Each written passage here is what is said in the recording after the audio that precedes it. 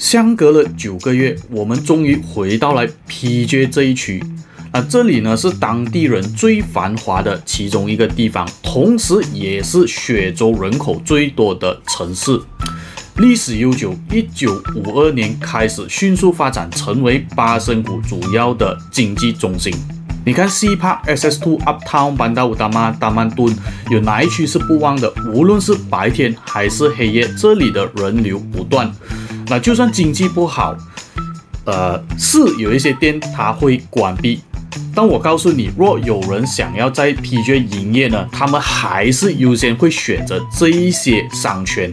本期视频我将带大家一起来到 Grand Damansara 的项目，在地图上来看，这楼盘就在 Spring 大道的旁边。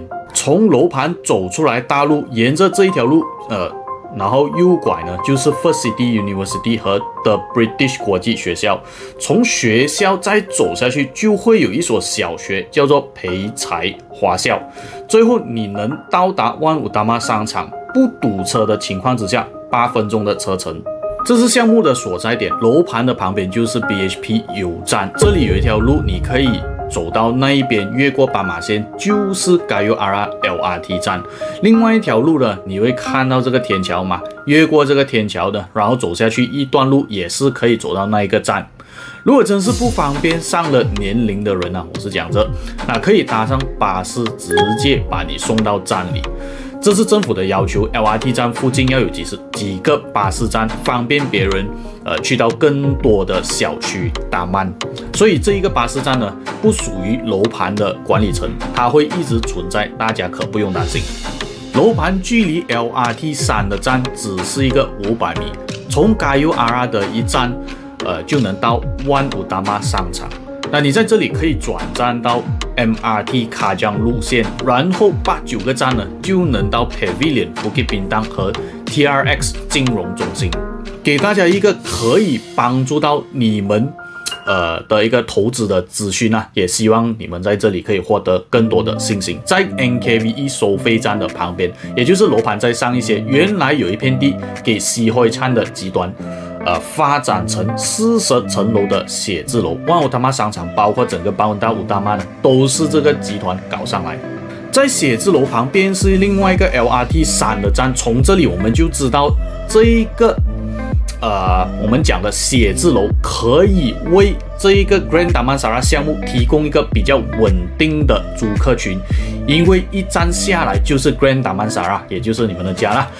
通常我们工作最头痛的就是堵车，堵上一个小时，哎，或者是搭上好多个公车站呢，下车还要走一段路才能走进公司，这也是呃我们最头痛的地方啦。那如果你的公司在这一个写字楼那一边呢，这个就是住在这里的一个优势。据我所知，整栋写字楼建好的时候，发展商是不打算卖，他们只是出租，哪来的信心呢？因为 PJ 的地啊，我们讲它的需求是比较稳定，而且，呃，地越来越少，抓着这一个点，他们就有信心可以出租给别人呢，然后赚取一些，呃，稳定的现金流。好消息的是，LRT 三会在二零二五年建好。我们再看看周边，这里会有比较少的景观被遮挡，没有任何的 HTC 电塔。啊，这里都是一些双层排屋，啊，算是差不多比较成熟的小区。上次给大家拍的 One to One Residence 就在这里，它算是比较靠近 LRT 站啊，自然它的优势会比较大一些。如果是驾车去附近的朋友们，沿着 Spring Highway 下去两点八公里，五分钟就能到 Damansara Uptown。同一个大道，哎，走下去。换去 LDP 大道四点一公里，七分钟呢，你就能去到 SS Two 商圈。万物大妈跟 IKEA 大约也是一个四公里多十分钟的车程内。那么最靠近这个楼盘呢，也就是楼盘会获得更稳固的租客群呢，也就是学生啊。为什么？因为它比较靠近 First City University 大学和 The British 国际学校啊，就在一点三公里的距离。若你不想在堵车的时间去到那么远的地方找一些吃的喝的啊，从楼盘沿着大曼，也就是里面的小区走呢，哎，就能到 Atria 商场以及楼下的商圈。讲真的啦，这里真的不缺吃的，太多饮食选择啊！而且以上我提到的商圈呢，无论在哪一段时间，人潮都是满满。紧接着，我们大概理解项目的一些资料。Grand Damansara 属于九十九年立后，管理费包括新厅分，呃，大概是一个四毛四一方尺。Studio 单位没有车位啊，一个卧室的单位开始起呢就有车位。项目会在二零二七年完成，有分为两栋四十层，那一栋是 Residential 带的，属于自住的呃楼盘啦。但另外一栋是属于 commercial HDA，可以作为商业用途。两栋加起来共有九百八十一户。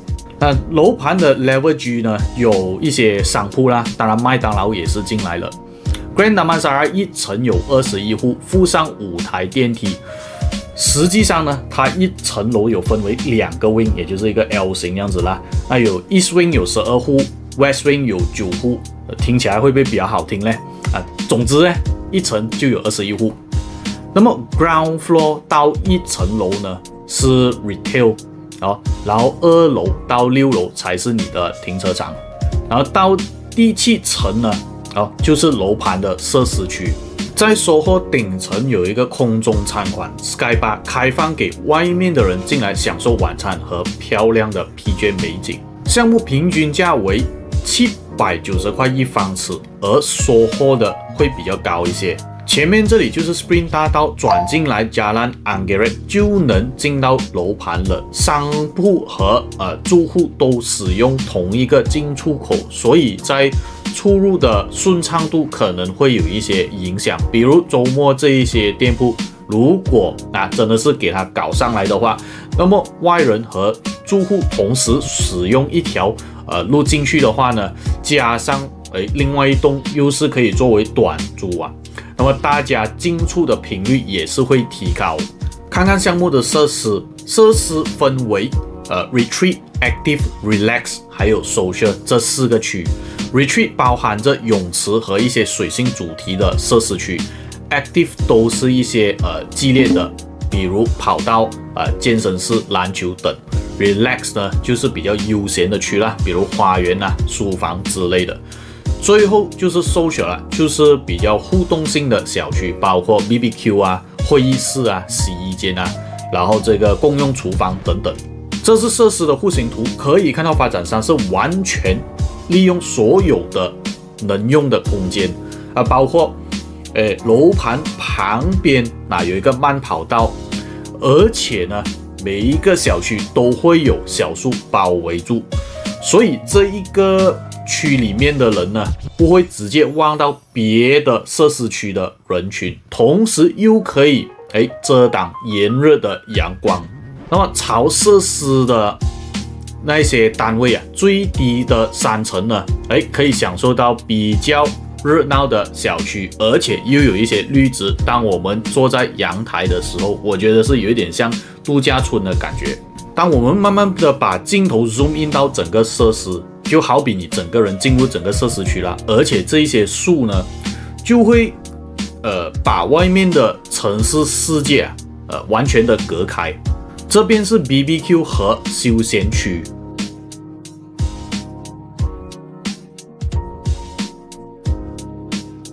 讲真的，整个设施非常完善，从水星到各种不同的运动小区都有啊！你每一天都可以做出一个 schedule 来进行不同的运动类型。在收获的楼下有半个篮球场，这里就是孩童的设备。若是当天的天气比较闷热，你可以在 Swing Terrace 这里待着啊，也会比较凉快。我们把镜头暂时转去一层楼的 floor plan。一层楼有两个 wing 啊，然后这个是十二个单位啊，这个 wing 是九个单位，加起来是二十一个单位。对我来讲看起来是差不多一样的啦，因为一层楼，而且呢，这个是五台电梯啦。然后我觉得这个是 refuse room 啊，也就是你的垃圾室会在这一边。每一个角落都会有一个楼梯口啦，基本上一共一层楼有三个楼梯口啊，这边一个，然后十八单十八号单位这边有一个，接下来二号跟三号单位也是有一个楼梯。Grand Damansara SOHO 那一栋共有三种户型款式，包括两百七十三方尺的 Studio、四百六十九方尺的双钥匙单位和四百七十一方尺两卧。而 Residential Tower 也就是自住的那一栋也有三种户型款式，哎，包括三房的九百一十六方尺和九百三十六方尺的户型。两房六百八十六方尺和四百七十一方尺一卧的单位。镜头转过来，所有的户型款式，我们先讲一讲自住的那一栋楼啦。啊，九百一十六方尺跟九百三十六方尺区别呢，就是除了大小有一点点不同啦，但是它们都是三卧，而所有的卧室在右边，跟所有的卧室在左边。那其余的就是。呃，开放式的客厅啦，啊，餐区，还有包括厨房。太 B 的户型呢，嗯，这个就对我来讲，这个户型有点嗯奇怪，不过不用紧啊。餐区、客厅还有厨房，OK，然后这里还有一个位置呢是书房来的啊，当然你也可以做多一个房间出来啊，应该啦，不然你就可以做一个储存室，我看。呃，然后这个就是你的两个卧室，这个就是大家共用的浴室，然后只有主卧才有属于自己的浴室。再看 Type C 四百七十一方尺这边呢，就有一个房间，然后这里就是一个 Study Area，当然你可以做出一个房间出来啊，看它的空间也是蛮大一下的。再看看 SOHO，也就是可以作为商业的一个一栋楼啦，两百七十三方尺，然后这个是 Studio 啦，一眼看完，呃，这个就是你的浴室啦。Door Key 也就是双钥匙，特别是双钥匙，如果你是打算拿来做 A B N B 的话，那你相当于一个单位购，呃，一个价钱购买两个单位，那么你就有两个租客，两个收入，啊。就会提高你的回报率啊，基本上也是一眼看完，然后被隔开的空间就是你的浴室，四百七十一方尺就是呃两个卧室啦，然后共用一个浴室，好，这边就是你的生活区，厨房也是开放式的。我这一次给大家挑选了 SOHO 那一栋楼的四百七十一方尺示范单位啊，来看一看，呃，因为。是 studio 的关系，所以我们就随着镜头啊，赶紧的看完。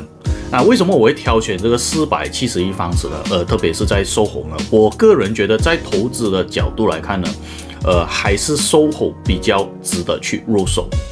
那这样看大门口的宽度呢？来，我们走进大门口，也只有两尺处而已。进到去左侧便是你的 pantry，而且剩余的一点点空间啊，你就可以放下你的餐桌。浴室就夹在主卧和次卧的中间。Studio 的户型其实不会有太多的变动，通常都是一眼看完。我们在户型图来看，次卧这里本来是一幅墙，只是发展商为了让我们感觉有更大的空间，所以就把墙拆掉。那冰箱啊、厨房啊、橱柜和呃餐桌呢，我们可以看到都是挤在一起。我觉得这楼盘这样的格局是比较合适短期入住啊，是 OK 的。毕竟哦。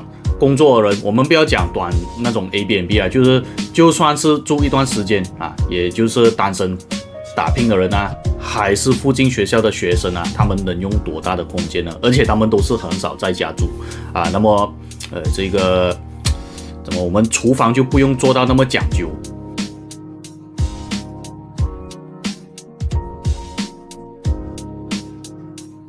我们进来看看次卧，其实这个次卧可以作为。全全部书房啦，啊，不用放在放在一个床在那边，因为很多时候我们在房里工作啊，背后有一张床，你都会找理由让自己懒下来啊，干脆啊做整个书房哦，这样我们工作呢还是读书呢就会比较集中一些。当然，这个也是我的个人建议，就看投资者们要引来怎么样的租客群。单人床上啊有一些衣柜，你可以把不经常的。衣服啊藏在里面，而经常穿的衣服呢，可以挂在开放式的衣柜。紧接着我们转移到浴室，我们只需要两步就能走进浴室。这里的墙砖是给到顶的，full high ceiling tiles。然后浴室的器具是很齐全，马桶啊，哦，脸盆啊，小柜子啊。浴室的器具呢，就是 Johnson Suits。再看看马桶和脸盆的距离，我觉得空间还是可以接受。体型比较大的人呢，如果坐下去的话，可能会有一些限制。沐浴的地方比较 standard，这里有一个洞口给你摆放哦洗澡所用的物品。同时干湿区都有一个排水洞。示范单位最后的部分就是主卧，设计几乎和次卧一样。只是空间大了一些，然后衣柜的旁边便是你的化妆台。这里的窗口就比较普遍的设计啊，就一个方形，中间一个十字框啊，然后呃两面能打开的一个窗啊。其实，在单位空间有限的情况之下，你还是可以设计出非常有层次感的空间出来。比如这个房里的墙，你可以看到，哎，部分是大理石的纹路，另外呃另外一面呢，则是大自然的木纹。那这不是瞬间带出一种优雅和自然融合的环境吗？我们还可以看到墙上那一边，特别是在窗帘那边啊，有一层窗帘盖，同时又可以盖掉丑陋的呃窗帘杆啊。那以前的设计呢，就你挂个窗帘下去，你可以看到整条杆呢，就有点尴尬了。现在大多数哦发展商给你的设计呢，都会把窗帘上面那一部分遮盖掉，然后呢，墙上面那边你就会看到有一些。呃，比较简约的、简单的突出，还有一些线条的美感。示范单位我觉得就到这里吧。现在给大家从楼盘的所在点一路走到万五大妈商场，起码大家可以多熟悉这整个环境。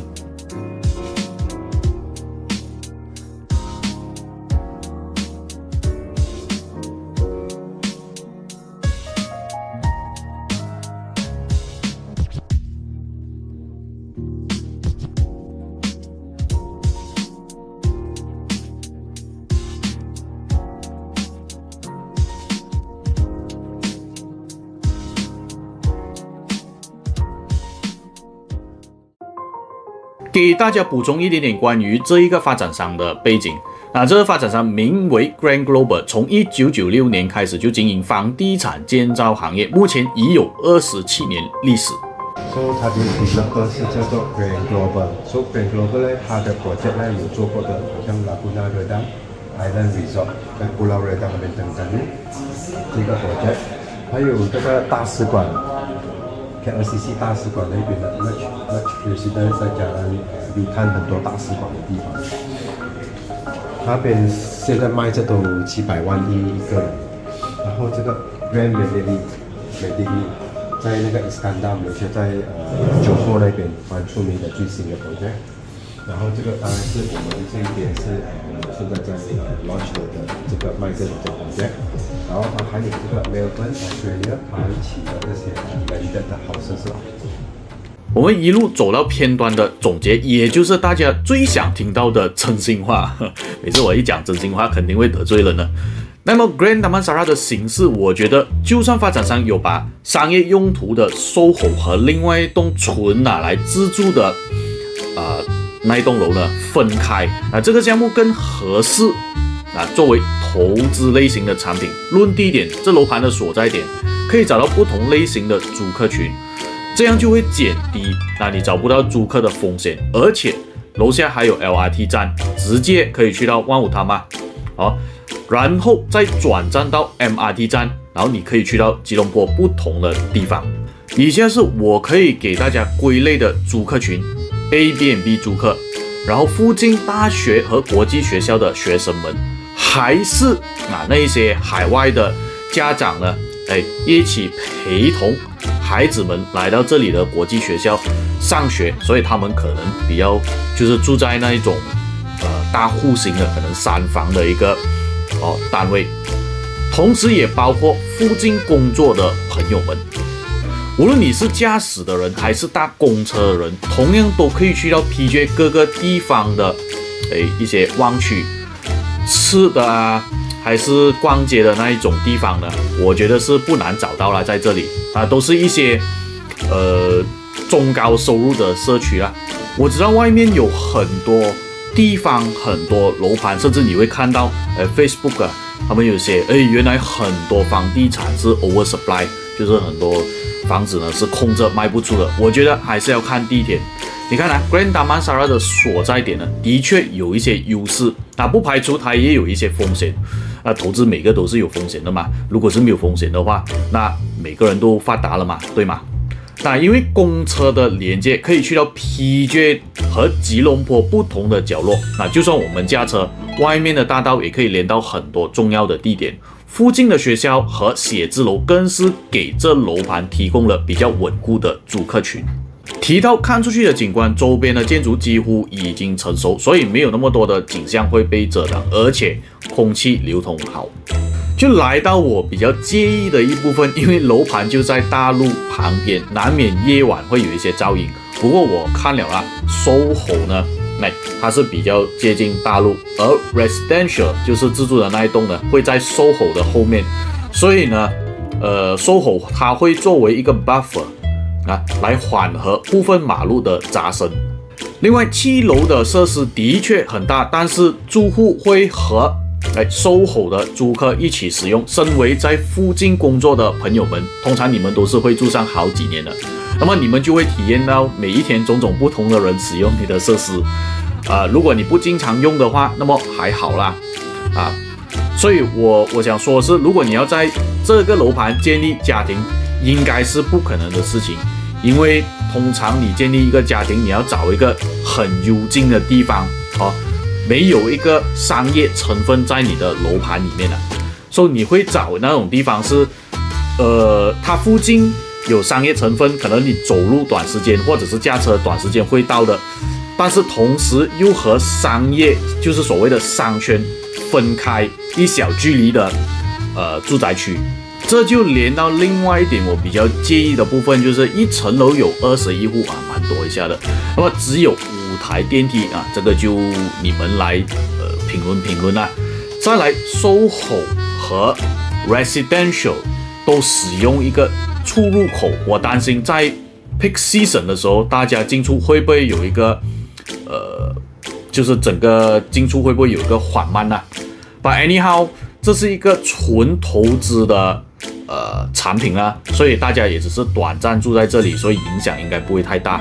最后讲到投资的回报，在 SOHO，也就是短租的部分，我算它，我每次都很喜欢拿二十天来出租的一个月，我不会拿三呃三十天满一个月的，因为生意有上有下，二十天是比较稳定的一个，比较算是一个合理的算法吧。所以二十天的话，一天租一百块，我觉得是可以呃 cover 到你的。工期啦，就是你的月供，而一年正常的租啦，我们讲这是枢纽的单位，在 PJ 大约是一千两百块到一千九百块左右。那只要收回来的租金能够 cover 到七到八十八先 off 你每一个月的工期呢，我认为还是一个可以考虑的产品。那么讲到三房 residential 的单位，也就是自住的单位，呃，九百多方尺那种大户型啊，在 PJ。若是比较完整的家具，哎，可以租上三千到三千五百块之间。而附近比较旧一些的楼盘呢，同样也是三房，哎，价钱可以租到呃两千五到两千九之间。那有一些竞争，所以呢，呃，自住还是你打算拿来出租啦？啊，这个是你自己决定，先做好功课。那我这里只是给大家提供一个实际的资料。在这里给大家声明，NFA DYOR Non-Financial Advice 和 Do Your Own Research，这是非财务建议的视频。我的内容只是给大家一个资讯的分享。那在投资之前，大家记得必须先自己做好功课和做好投资风险管理。那相同的项目并并不代表每一个人的 portfolio 都合适。